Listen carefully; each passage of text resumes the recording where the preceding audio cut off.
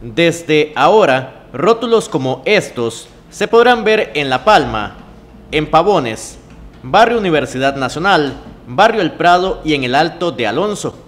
Estas localidades se graduaron y son parte del Grupo de Seguridad Comunitaria y Comercial de la Fuerza Pública en Pérez Celedón.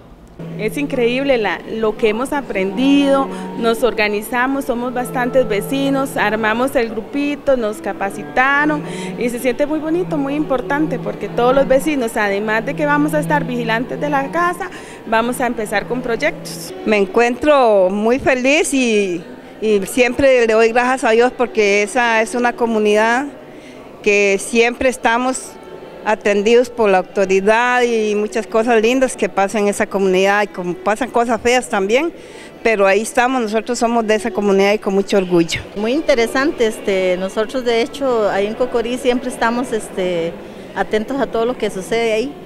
Tenemos un grupo también donde estamos comunicándonos siempre de todo lo que pase ahí, todo, todo, cualquier cosa que pase ahí nos estamos comunicando la fuerza pública nos ha dado mucho apoyo siempre en cuanto a todo esto. El programa de seguridad comunitaria en el Valle del General ya sumó 58 miembros. A esto hay que sumarle 74 comercios capacitados.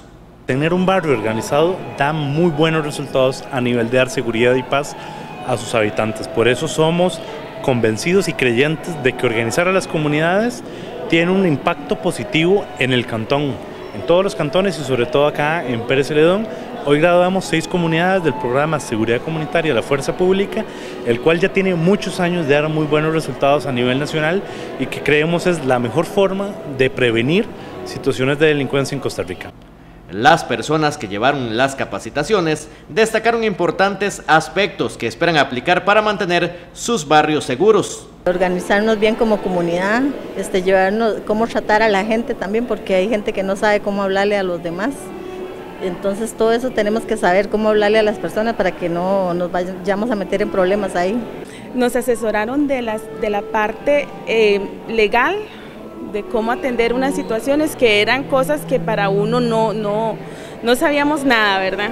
Entonces ellos nos brindaron esta asesoría de la parte legal en cuanto hay algún ladrón o algún delincuente haciendo daños, cómo hay que actuar y todas esas cosas. Las comunidades organizadas contra el AMPA son un complemento perfecto para la fuerza pública, en especial cuando se trata de territorios extensos como es Pérez Celedón. La presencia policial, cuando tienes distancias tan grandes, se vuelve más complicada de tener visibilidad, es decir, hay comunidades rurales que si bien tienen sus problemáticas, a veces no ven tanto a la policía. Por eso, convertir a las comunidades como un aliado hace que las veces que intervenga la policía tenga un mayor valor agregado a su trabajo. Pérez León es un cantón con una extensión geográfica considerable, en la cual también tiene, goza muy buenos índices de seguridad en comparación con otras regiones, y eso implica no tener el personal suficiente para tener una cobertura plena en cada comunidad como nosotros quisiéramos, entendiendo las limitaciones de recursos. Por eso esos programas